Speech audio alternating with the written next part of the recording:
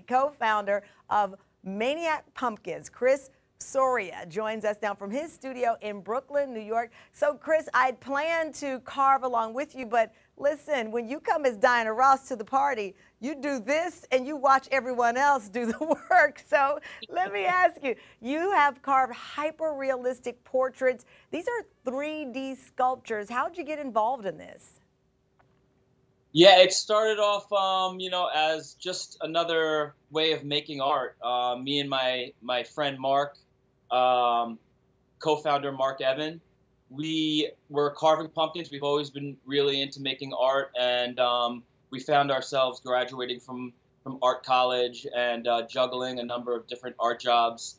And you know, we decided to uh, to carve pumpkins and pretty soon we had uh, requests from corporate clients, and we went from carving uh, 25 pumpkins a month to 50 pumpkins within a uh, October season to hundreds, and now we go through thousands of pumpkins. Um, thousands. Um, I know you did, you know, the cast of X Men franchise, The New Mutants, and you've even done one, thank you so much, of me.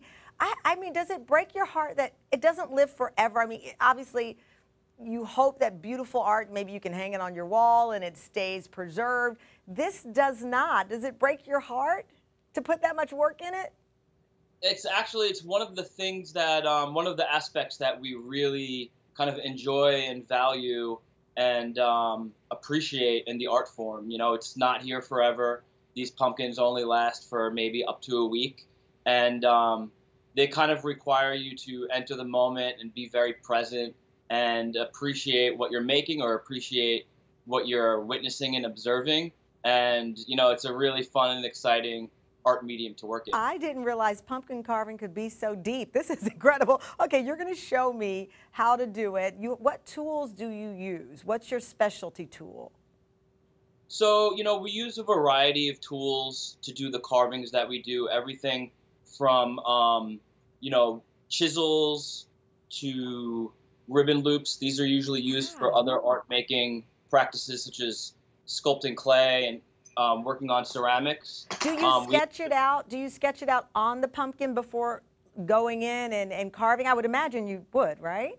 We do, and um, you know, we always suggest, even with a traditional jack o' lantern, um, it always helps to sketch it out first on the pumpkin before you start carving into it. That way, you're not guessing where to carve and you can really plan it out. And um, you know, doing so with the ballpoint pen, the wow. ballpoint pen wow. can wash right off with a little scrubby, and it still have makes you your pumpkin. Ever, I mean, have you ever met a pumpkin that you couldn't carve? No, no, that's a crazy question. I've only met pumpkins that I haven't carved, but uh, every time I see a pumpkin, all I want to do is carve it. that's amazing. So, I, I mean, I've always wondered, and please don't tweet me about this, the difference between a pumpkin and a jack o' lantern. I can't mm-hmm. believe I'm 50 and I'm asking this question. well, a pumpkin is the uh, is the fruit. Uh, pumpkins are a fruit right. that um, I knew that, that lanterns are made out of. But originally, jack o' lanterns, you know, when um, when they were created in places like Ireland, there was no pumpkins at the time, and so um, kids would carve jack o' lanterns out of things like potatoes and turnips. Oh. And it wasn't until you know they brought these customs with them to the Americas that they started doing the same thing in pumpkins. Now, I, uh, Chris, I once did a story on these people upstate New York who grow like ginormous gourds, ginormous pumpkins that I mean sell for tens of thousands of dollars. Um, I hate again to ask how much does something like this cost, but do you know like the most you've ever charged to carve something special?